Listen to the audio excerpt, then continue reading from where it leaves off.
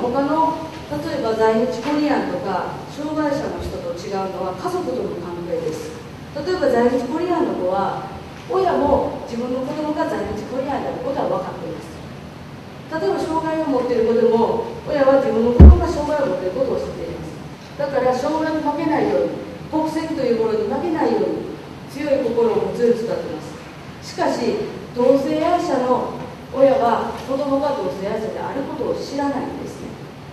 ここから親子の関係ですごく大変大変になって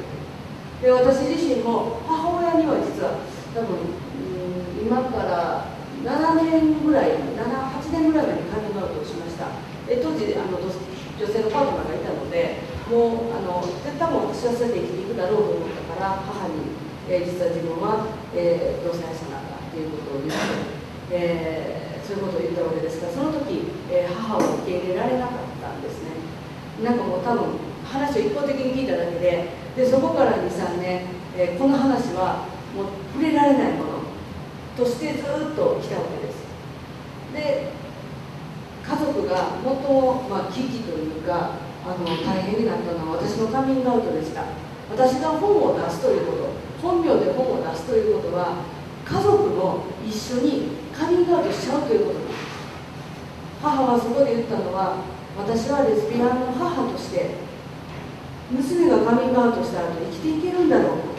親戚の中で近所の中で生きていけるのかすごい不安になったと言いました。で家族会議の時にそういう話をした時に、えー、本を実はもうすぐ出版するっていう話をした時に、えー、うちの兄がすごく私を応援してくれたんですね。でそれは、まあ、私の兄はとても病弱な兄でちょっと私とは違ってですね病弱な兄で、え、アトピーや喘息を持っていてずっとだからアトピーのせいで皮膚もガサガサしてるしよくぜいぜいお子さんを起こしてる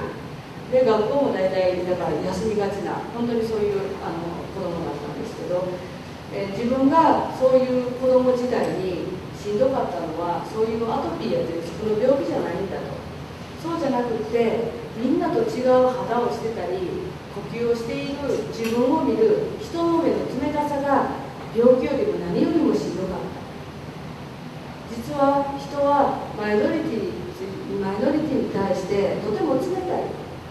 でも自分の妹がそのマイノリティの権利のために戦うっていうなら家族はそれを応援するべきだっていうことを言ってくれたんですね。それで、まあ、うちの母もあそうなのか自分の子供がそんなことを思ってたのかっていうことを感じるようになって。で、まあ、例えば私の神様と見に来てくれたりさまざまな行事に顔を出すようになってくれて今では親の会というのは親と家族と友人をつなぐ会というのがありまして、えー、うちの母は今ではその家族と友人をつなぐ会でえー、ゲススピーカーを務めたりなんていうことをしています。